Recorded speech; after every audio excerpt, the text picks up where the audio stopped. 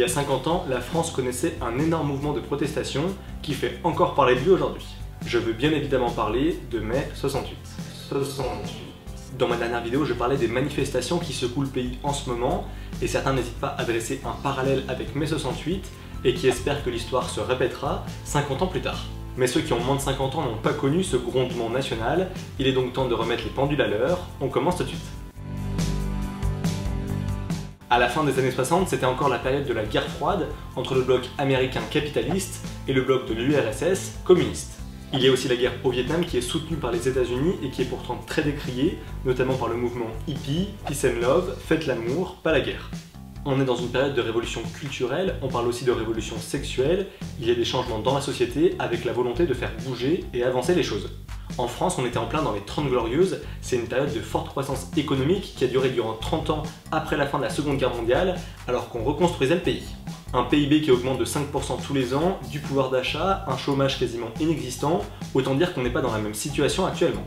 Il y a aussi un boom démographique avec l'arrivée de migrants pour répondre aux besoins de main-d'œuvre des entreprises pour reconstruire le pays. Chaque année, la population française augmentait ainsi de 500 000 personnes. Mais à ce moment-là, malgré tous ces bons facteurs économiques, la société française était très inégalitaire, avec une forte pauvreté. La preuve, il y avait des bidonvilles à côté de la fac de Nanterre, et les étudiants venaient régulièrement voir les habitants. Et c'est justement dans cette université que les prémices du mouvement de mai 68 commencent, le 22 mars. Une bonne centaine d'étudiants protestaient contre l'arrestation de manifestants contre la guerre du Vietnam. À Nanterre, les cours ne sont plus assurés et le 2 mai, le doyen décide de fermer l'université. Qu'à cela le lendemain, ces étudiants se rendent à Paris à la Sorbonne pour un débat sur la liberté d'expression. Mais le recteur décide d'appeler la police pour les évacuer, les premiers affrontements éclatent dans la rue, il y a des centaines d'arrestations et de blessés. Le 6 mai, Daniel Cohn-Bendit, dit Danny le Rouge, ça fait un petit peu nom de pirate mais on le surnommait ainsi parce qu'il était proche de l'idéologie communiste, est convoqué à un conseil de discipline à la Sorbonne parce que c'est l'un des leaders du mouvement étudiant. C'est à ce moment-là qu'on prend une des photos les plus marquantes de lui alors qu'il regarde dans les yeux un CRS en souriant. Bien entendu, les manifestations continuent et ça dégénère, il y a des jets de pavés sur les forces de l'ordre, il y a aussi des barricades dans les rues, on se croirait un petit peu dans les misérables. C'est vrai qu'il y a une sorte de climat de mini-guerre civile qui peut rappeler l'émeute de 1832 dont on entend parler dans le roman de Victor Hugo.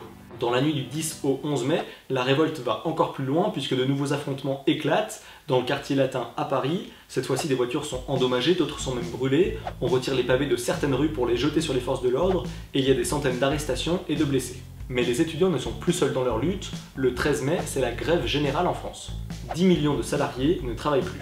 À Paris, une immense manifestation va rassembler des étudiants venus de toute la France, car il n'y a pas qu'à Nanterre ou à la Sorbonne qu'on manifestait, de nombreux campus dans tout le pays étaient mobilisés localement. Lors de leur marche, ils sont rejoints par les ouvriers, les employés, les salariés, et on dénombre au moins 500 000 personnes qui défilent dans les rues de la capitale.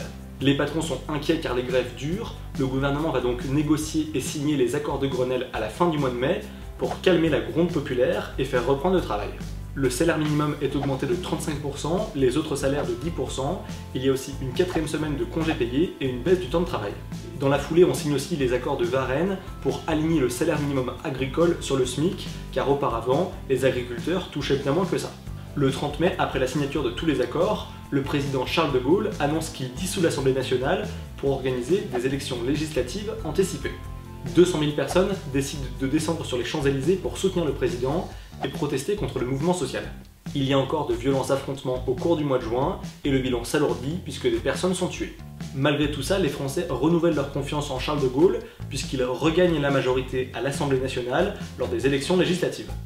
En 2018, ceux qui voulaient protester contre les politiques du gouvernement d'Emmanuel Macron ont choisi la date symbolique du 22 mars pour faire coïncider le début de leur lutte avec celle de mai 68. Il y a 50 ans, ceux qui manifestaient cherchaient à améliorer la société.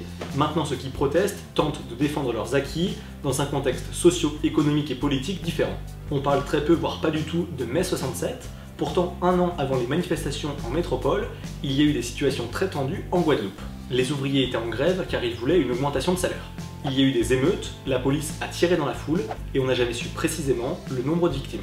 En 2016, le gouvernement français a reconnu que c'était un massacre qui avait été perpétré là-bas. Même des footballeurs ont manifesté à leur manière pour mai 68. Un groupe de footballeurs amateurs a occupé les locaux de la Fédération française du 22 au 27 mai. Ils protestaient déjà contre les grosses sommes d'argent qui circulaient dans le monde du football. 50 ans plus tard, c'est pour leur faire un bel hommage qu'on a bouclé le transfert de Neymar au Paris Saint-Germain pour plus de 200 millions d'euros. Pour finir, je vous laisse avec un bon plan pour ceux qui auraient des membres de leur famille qui auraient un souvenir de mai 68 pour avoir participé à une manifestation par exemple. Il faut savoir que certains collectionneurs n'hésitent pas à mettre le prix pour acheter aux enchères certaines affiches qu'on collait au mur. Les acheteurs sont souvent nés après mai 68, mais il y a un intérêt historique et artistique dans ces affiches qui peut plaire à tout le monde. On peut en trouver aux alentours de 50 euros, mais certaines affiches se sont vendues plusieurs centaines d'euros, voire même plusieurs milliers d'euros, lors de rares occasions. Vous pouvez toujours essayer de voler des pubs aux abribus pour les revendre dans 50 ans.